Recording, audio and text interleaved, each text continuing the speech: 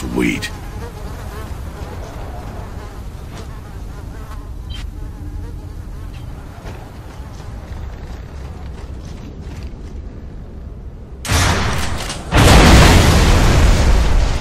Yeah, that's more like Enemy reinforcements!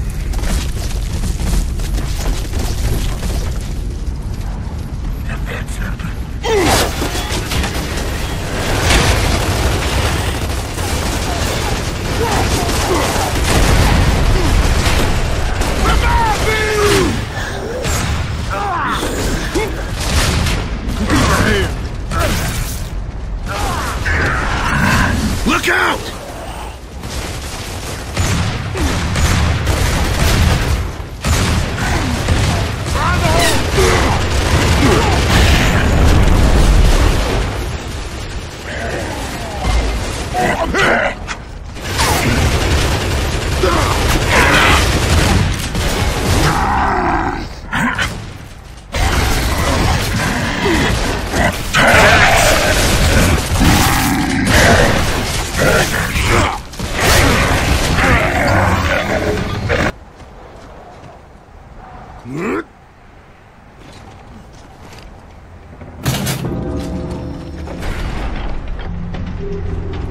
Well, that was character forming. Huh, gotta hand it to them grubs. They built to last. So, any idea where we are now?